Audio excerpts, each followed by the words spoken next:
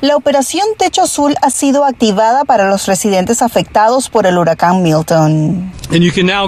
Ahora puede ir y aplicar para que el Cuerpo de Ingenieros del Ejército de los Estados Unidos vaya y lo ayude a colocar una lona en su techo. Este programa está destinado solo para residencias principales o propiedades de alquiler ocupadas permanentemente con menos del 50% de daño estructural.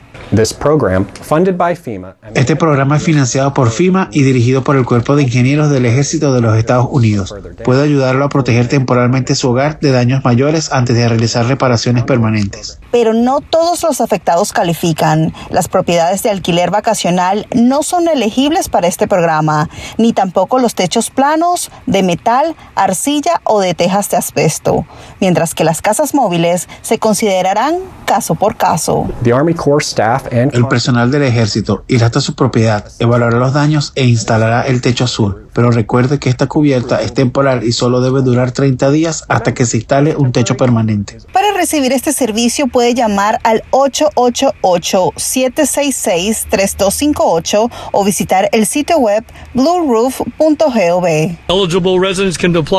Los residentes que sean elegibles pueden inscribirse hasta el martes 5 de noviembre y luego iremos hasta su casa a realizar la instalación. Ante el aumento de las estafas relacionadas con la recuperación del huracán Milton, las autoridades también hacen un llamado a los residentes a estar alertas.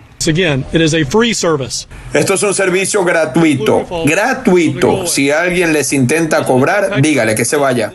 Para Noticias Univisión, Danelia Buitrago.